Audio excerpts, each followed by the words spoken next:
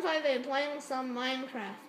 Today I'm going to be showing you how to build a house on flat world. Now what you're going to need is oak wood planks, a door, some torches,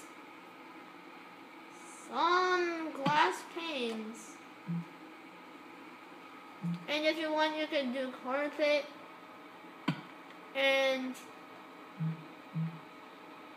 last thing you will need is um a bed, fur, uh, crafting table, furnace, and a chest. Now let's get started. So first thing you'll need to do is you will need a 5 by 10 um border on your house. So like this. One, two, living space right there because that's where the door is going. Three, four. Alright, so now what you'll need to do is you will need to go 10 back. So like this. One, two, three, four, five, six, seven, eight, nine, ten. Misplaced it. Ten. And now I'm going to um uh go back like this. Five. Let me let me check if that's five.